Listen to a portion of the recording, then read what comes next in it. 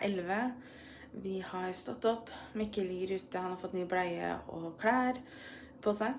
Ehm, I natt så sovna jeg ganske seint fordi at jeg ble liggende og følge med fordi at han plutselig begynte å snu seg over på sida eh, Mens han sov, og så la han hodet veldig bak, for han ligger liksom han, Når han skal snu seg, så må han fortsatt hjelpe til ganske mye med kroppen sin og sånn, så han ligger liksom med huet ganske langt bakover. Ehm, så han klarte ikke å snu seg tilbake igjen, og så ble han frustrert på det, så han begynte å gråte i søvne og sånn. Så jeg måtte liksom snu han. Uh, så jeg ble liggende og følge med på om han gjorde det flere ganger. Så da ble det ganske seint på meg. Uh, men nå er vi oppe. Så nå skal vi, skal vi ikke få noe mat, og så skal jeg og Petter få oss noe mat, tenkte jeg. Uh, og så starter dagen. Bestilte meg nytt dekkskjell på en nettbutikk som heter Epoxy Heaven her om dagen. Jeg kan linke de tre produktene her under i infoboksen. Jeg har bestilt nytt deksel. Til ære for Mikkel så har jeg kjøpt meg et lyseblått deksel med lyseblå dinosaurus på. Dinosaurer på. Så har jeg kjøpt meg en gryteklut som har sånn lomme foran her. Som du kan f.eks. putte en slikkepott oppi eller noe sånt hvis du skal gi den bort i gave. Som det står 'Christmas Baking Crew'. Den kan hende dukker opp i Blogmas. Og så har jeg kjøpt innflytningsgave til noen venner som er samme, bare at det står 'flipping awesome'. Etterpå så skal jeg pakke bort noen av favorittflaskene til Mikkel, for de er nå rett og slett for små eh, til antall Eller til mengde melk han får om gangen. Eh, men de har alle sånne tre tuter på, så den skal jeg ta av og legge oppi den posen her, hvor jeg har ekstra eh, tuter til tåteflaskene som er ferdig vaska. Um, og så skal de pakkes bort. Ja. Gutten vår blir stor, altså. Jeg har også vært litt sløv på det å ta mm, vitaminer etter fødselen. Så nå har jeg kjøpt meg Multitotal fra Colette. Og så skal jeg begynne å ta det, for det, det trenger jeg. Har lagd lik frokost til meg og Petter, eller lunsj til meg og Petter i dag. Nektarin, brødskive med syltetøy og brunost. Og brødskive med eh, Philadelphia-ost og spekeskinke. Så jeg har også lagd en iskaffe til oss hver.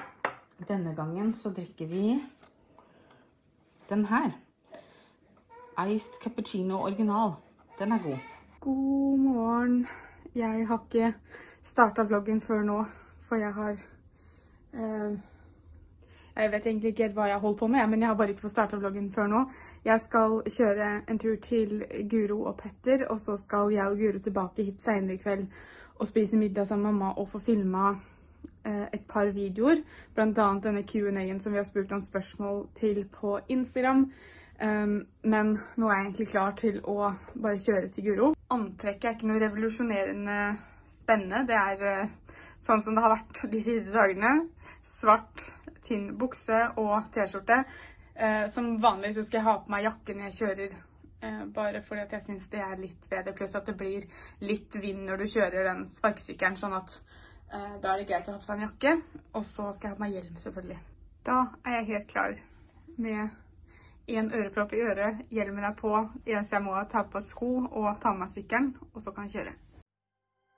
I can try if you let me without lives I am bleeding Vi er på badet og driver og Herregud, det lyser jo opp hele greia. Jeg glemmer å ta kameraet bort fra det. Vi driver og bruker denne allvasken-enheten for å fjerne hår Um, Pia er meget konsentrert for å drive og holde på ansiktet. Um, jeg har også tatt Vent, da Nå kan jeg zoome litt ut for noe, det er veldig nærme. Ja, det er Ja, Hva syns du? Like lett i dag? Ja.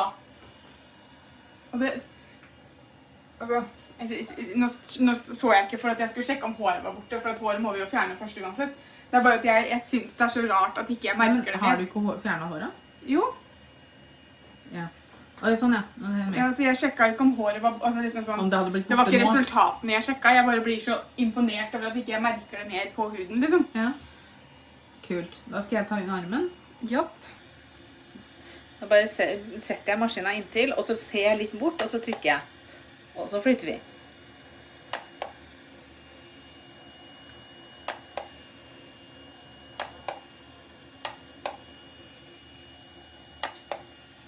Så må jo maskinen være helt nedpå huden, ellers så kommer ikke lyset. Merka jeg nå.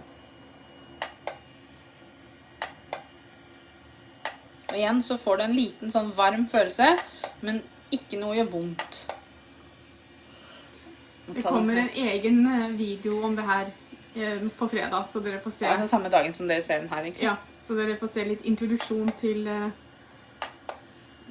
enheten og til maskinen og Ta-ta. Ta-ta. Nå skal jeg også ta beinet.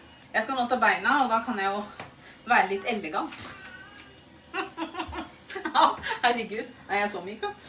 Eh, Jeg har jo nettopp dusja, som dere ser, eh, og da fjerna jeg håret, så da er det bare å Nå må du sjekke, du må forandre modus. Ja. Eh, Åssen gjorde vi det igjen? Holdt jeg på power-knappen inne? Ja, akkurat nå så bare prøver jeg å finne der det står om det i den brukerhåndboka. Det er så fint at det er så myk og kan stå sånn her lenge.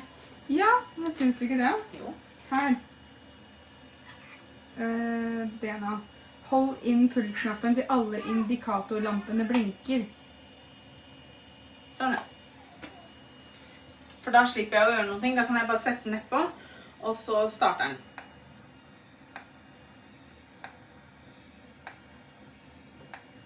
Så rusler den nedover beinet mitt. du. Way. Du må svinge, da. I'm swinging, I'm swinging.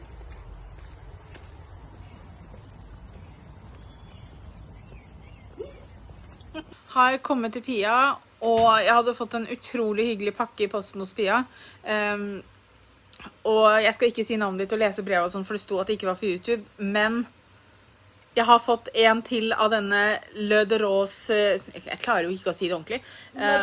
Le de Rose. Parfymen. Um, hun har sendt meg flere tidligere, og det er bare så utrolig hyggelig. Tusen, tusen takk. Åh, da vet jeg hva som skal brukes i sommer, da. Den her. Driver og lager middag. Pasta i Pasta i saus. Ja, altså det er pasta, og så har vi alforno dolmio-saus med kyllingsøtdeig. Og så skal det inn i ovnen. Litt sånn som jeg og Pia spiste her om dagen, bare at i dag så mamma også var med.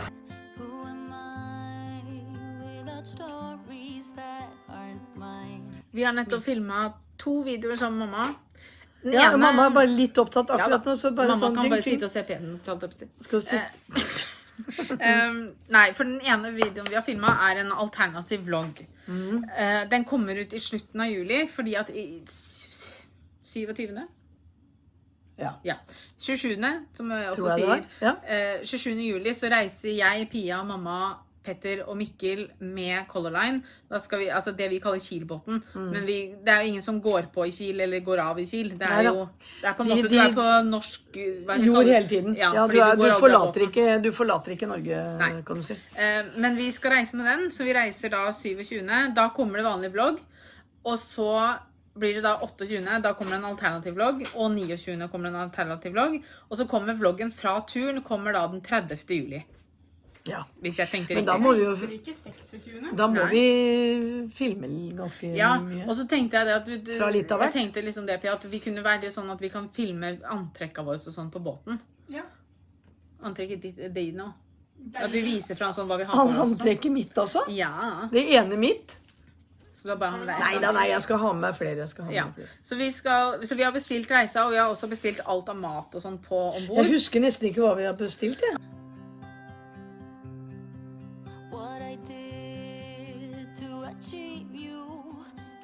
Ja, det blir fint. Jeg gleder meg. Så Gleder meg. vi får se.